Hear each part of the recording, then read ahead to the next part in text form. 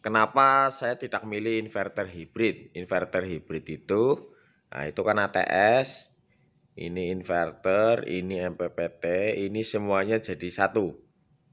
Kompak menjadi sebuah satu perangkat saja, itu lebih simpel, lebih sederhana. Kenapa saya tidak milih itu?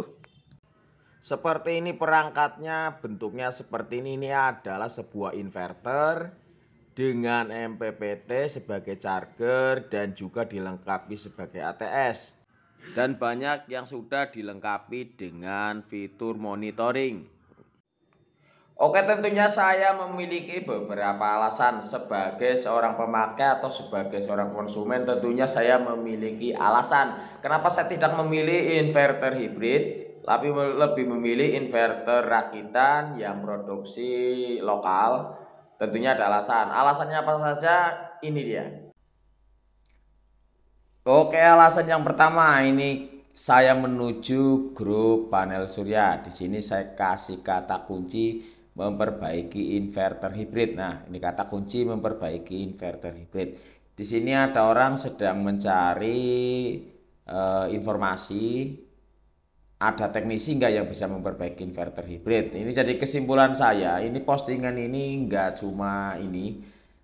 Termasuk tahun-tahun sebelumnya sekarang 2023 2022 2021 2010 saya juga sering menjumpai te, apa postingan-postingan yang seperti ini nih.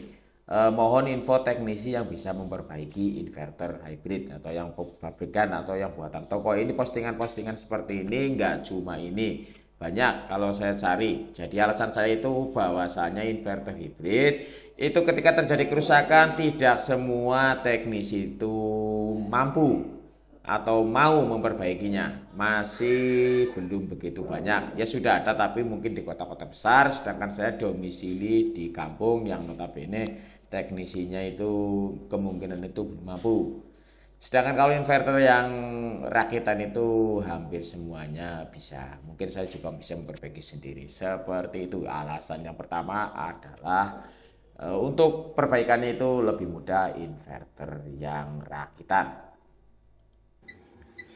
Oke ini juga ada sebuah video di YouTube saya lihat saya cuplik dengan kata kunci yang sama memperbaiki inverter tipe hybrid. Nah di sini ini beliaunya itu sedang memperbaiki inverter hybrid karena ada error. Nah ini diperbaiki nah, dibuka diperbaiki dan saya juga melihat. Ketika saya melihat ini saya itu kan sebagai konsumen itu bisa menilai nah, seperti apa isinya terus perbaikannya mudah atau tidak yang tentunya.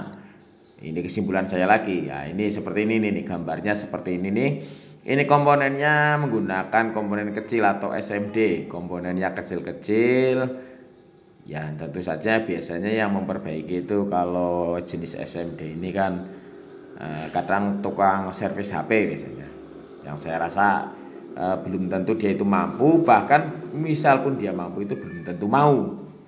Karena pekerjaan ini ya menurut menurutnya mungkin ya bukan bidangnya bisa juga ini teknisi untuk tipe inverter seperti ini masih di kota-kota besar. Mungkin kalau saya domisili di kota seperti Jakarta atau Jabotabek mungkin nggak ada masalah. Tapi kalau saya hidup di kampung seperti ini, misalnya terjadi kerusakan, ada komponen SMD yang rusak seperti di gambar di atas ini. Ini SMD kapasitornya ini terjadi kerusakan. Nah, ini dilepas terus di tester nah ini terjadi kerusakan habis itu digantilah sama teknisinya. Nah ini barang sepele ini harganya murah sekali itu mungkin 100 rupiah 100 sampai 500 rupiah lah itu. Nah harganya SMD itu kecil itu murah. Tapi nyarinya itu kalau di kampung itu tentu saja ya spare partnya tidak semudah itu nyarinya. Berbeda kalau saya di Jakarta domisilinya Tentu saja saya mau nyari ke Glodok, nyari ke Mangga Dua, nyari ke mana-mana itu biasanya di kota-kota besar itu lebih mudah. Sedangkan kalau di kampung saya ini ya, saya akan kesulitan. Biarpun ada pun saya agak kerepotan. Harganya katakanlah satu eh, lima ratus rupiah katakanlah satu lima ratus rupiah saya beli cuma satu yang rusak satu kan repot sekali menurut saya ini nggak nggak nyaman Nah, jadi saya bandingkannya itu dengan spare partnya itu kalau untuk inverter lokal itu lebih mudah. Jadi toko-toko elektronik, spare part untuk televisi maupun radio itu juga banyak. Berbeda dengan komponen-komponen untuk inverter tipe hybrid. Jadi setelah diperbaiki diganti SMD kapasitor yang rusak itu, nah inverternya ini sudah jadi. Nah, ini sudah jadi, sudah menyala kembali dengan normal. Cuma diganti SMD kapasitor yang rusak. Nah, bisa dibandingkan dengan sistem saya ini, sistem saya yang rakitan ini. Di mana TS, inverter, dan MPPT ini terpisah-pisah. Saya merakit sendiri. Nah, misalnya terjadi kerusakan, saya seorang konsumen, saya itu pengguna, misalnya terjadi kerusakan di, misalnya mohon maaf, mudah-mudahan tidak rusak. Nah, ini MPPT-nya misalnya, MPPT-nya ini tidak menyala. Saya nggak usah panggil teknisi, saya tahu ini ada kerusakan, ada masalah di MPPT-nya.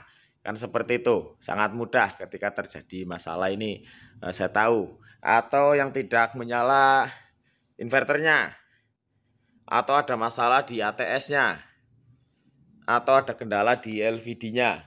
Ini tentunya saya sebagai seorang konsumen atau seorang pengguna itu saya akan tahu bahkan tanpa pengetahuan yang uh, lebih mendalam tentang elektronik saya bisa memperbaiki sendiri. Ya contoh misalnya ya kayak seperti contohkan tadi misalnya itu rusak. Saya tinggal itu saya lepas saja. Oh ini yang bermasalah ini kan saya sudah tahu tanpa merepotkan teknisi untuk yang berikutnya adalah upgradable. Upgradable saya ketika mau nambah katakanlah ini sekarang 2400 WP saya mau nambah PV saya tinggal tambah MPPT-nya lagi misalnya seperti itu. Itu lebih upgradable termasuk untuk kit inverternya. Jadi seperti ini nih, seperti kita tahu Nah, ini subscriber saya udah pernah tahu, dulu saya itu menggunakan sistem 12 volt, sekarang sudah diganti 24 volt. Dan ini juga bisa di-upgrade ke 48 atau 36. Ini upgradable dari inverternya, MPPT-nya maupun ATS. Misalnya saya upgrade itu semuanya sangat mudah, bisa saya lakukan sendiri tanpa bantuan teknisi. Terus yang kelima, selain kata upgradable kita bisa menggunakan kata cicilable. Bahwasanya saya merakitnya ini bertahap. Saya dulu beli baterai itu pertama itu habis itu diikuti yang lainnya terus beli MPPT-nya itu pertama itu yang tengah berikutnya sebelahnya sebelahnya ini bisa dicicil saya beli secara bertahap 250 WP habis itu saya upgrade saya cicil lagi saya beli jadi 550 sampai sekarang itu 2400 WP semuanya itu dicicil cicilable bisa dicicil, bisa diangsur kita beli secara bertahap. Ini keuntungan sistem yang rakitan berbeda dengan sistem yang hybrid. Yang otomatis misalnya saya beli yang 48 itu nggak bisa kita downgrade jadi 24 atau 36 atau 12 itu nggak bisa.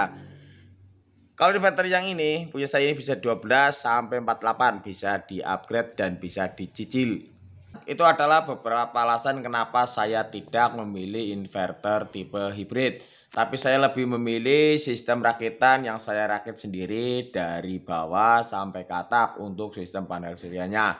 Dengan alasan-alasan yang saya sebutkan tadi di depan. Jika ada yang mau komentar, nah mungkin saran saran pemirsa itu bagaimana? Mungkin pemirsa punya alasan sendiri, silakan ketik di komentar. Menurut Anda bagaimana? Itu saja. Wabillahi taufiq Assalamualaikum warahmatullahi wabarakatuh.